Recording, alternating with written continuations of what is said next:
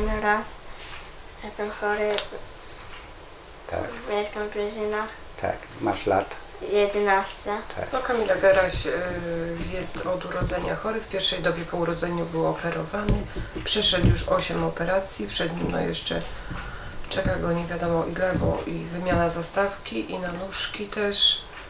No i takie nie, niepotrzebne rzeczy też się mu przepelętały, także powiemy kamień w pęcherzu też miał operacyjnie usuwany.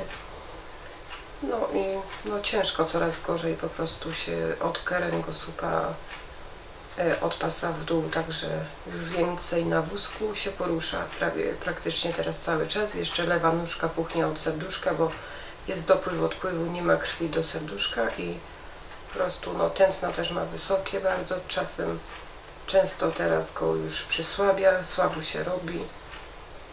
Tak. 1 września był Kamilek operowany w Krakowie. Proszę nam powiedzieć coś na temat tej operacji.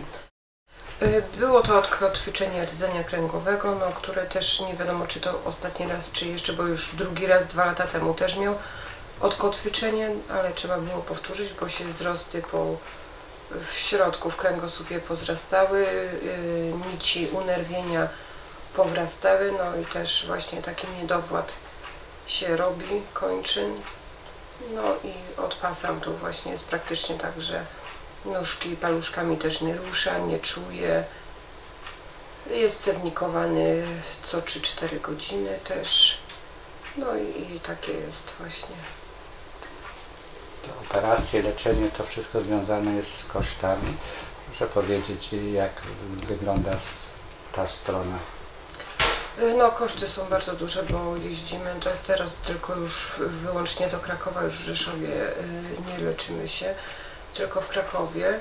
No i tak, są wyjazdy co tydzień, czasem y, nawet dwa razy w tygodniu, bo mamy wszystkich lekarzy, no przychodzi dużo tam teraz wizyt, badań, tomografie, kontrolne głowy, bo jest zastawka, potrzebna będzie rewizja stopy, ortopeda, y, na rehabilitacji też żeśmy byli na turnusie takim, który miał łuski w Stanach robione, no ale niestety teraz w tych łuskach nie może chodzić, bo w tych ortezach, bo nóżki puchną, w ogóle ma y, zakaz, że tak powiem, nawet y, chciałby chodzić y, trochę, a, a nie może, bo ze względu, żeby nie obciążać nogi lewej, żeby nie puchła, no bo może w każdej chwili dostać zator y, tej nogi, no i może źle się to dla nas skończyć.